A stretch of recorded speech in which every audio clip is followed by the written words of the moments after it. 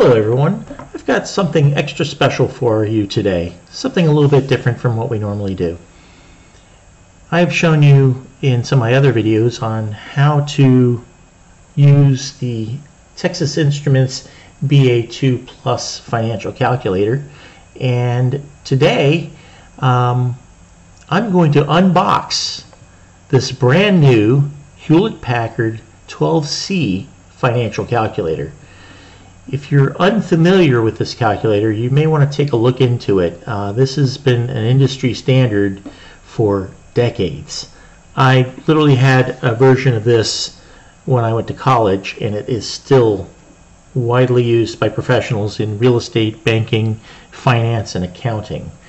Uh, of course, they've upgraded it somewhat, but overall, the layout and many of its functions remain the same as it was many years ago.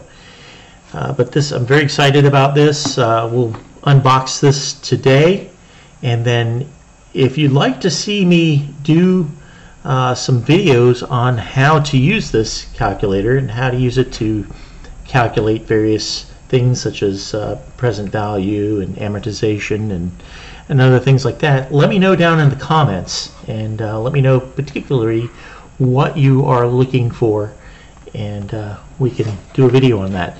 But before we get to the unboxing, I first want to say that I believe something wonderful is going to happen for you today. And now, on to the video.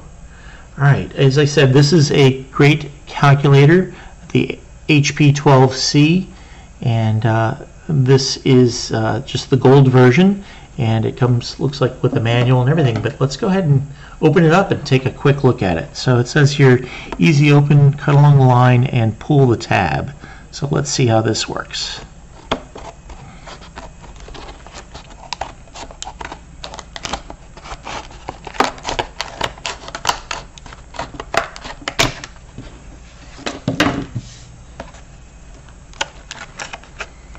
Pull the tab. Ah here's the tab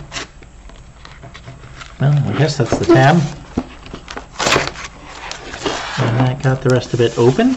It appears that it comes with a case. We'll put that aside and take a look at that in a moment.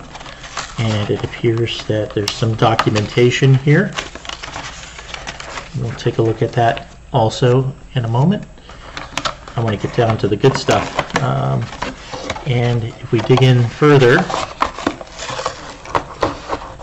there is the calculator it's pretty light. I think it's lighter than uh, it used to be, uh, but it's still very tough. I know they design it to be able to drop from a desk and uh, hit a hard floor and not break. I'm not going to test that today, but just uh, so you know that's how it works.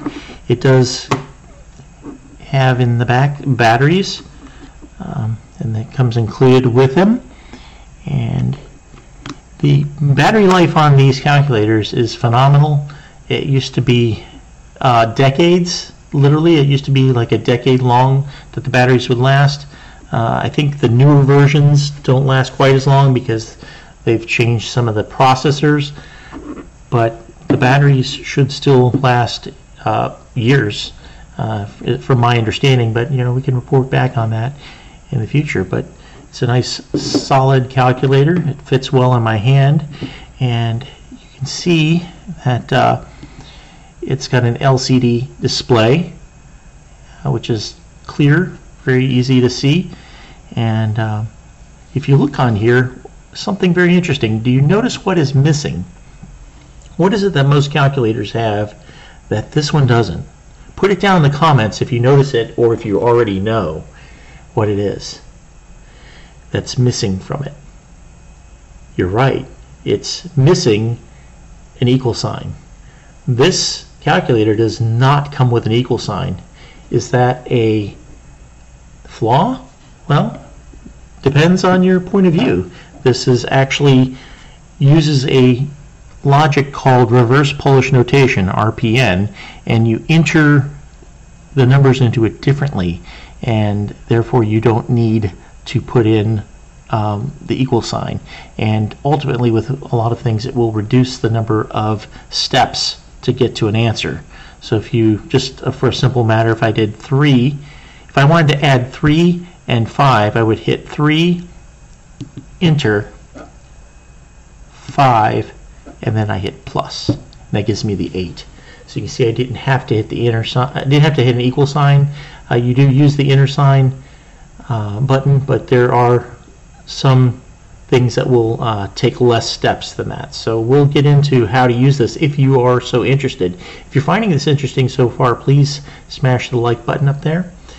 We also have some documentation here. We'll, I'll have to go through that, but you know who needs a manual? We just uh, we just like to mess around with it without it. And also, it's a, a nice um, case here. This is not leather, but it is soft on the inside and looks like it'll protect it well. Let's see about put a sliding it in here, and uh, yeah, that keep it well protected throughout the years. So I'm very pleased with it, and I can't wait to start using it. And uh, if you want, I might make some videos on how to use this in your class. You might want to pick one up for yourself. But until next time, um, keep your grade alive and subscribe.